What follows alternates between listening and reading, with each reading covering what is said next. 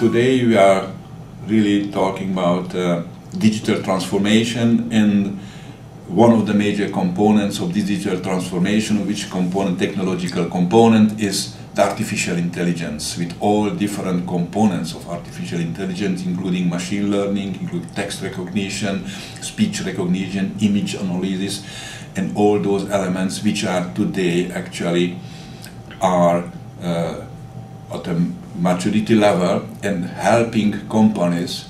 to use those elements to boost the uh, productivity and to change fundamentally the way how we are doing today business and the way how we are interacting with intelligent machines and the way how in uh, our uh,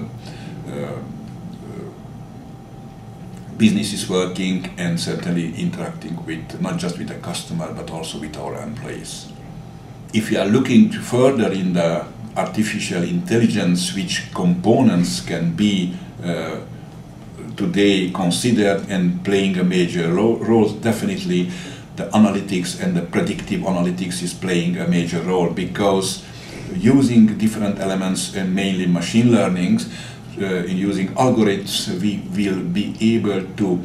to predict events and predict uh, things which will happen in order to avoid, for instance, one of the um,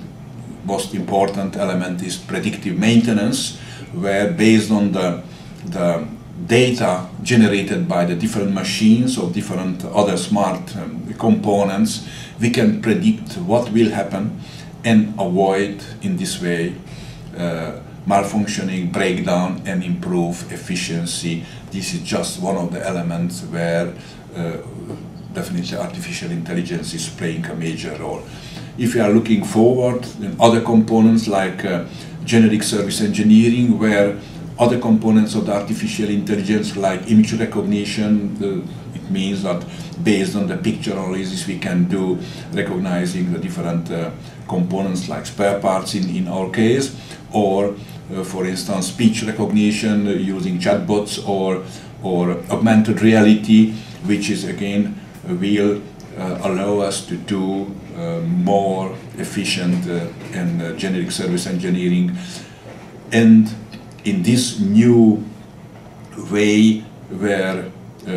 based on uh, this technology, humans and robots, humans and machine will collaborate in an ecosystem in, an, in a collaborative way and helping each other in order to realize more productivity and more efficiency and certainly to, to make our life not just in the companies much easier but also in, in, a, in our societies, in our private life.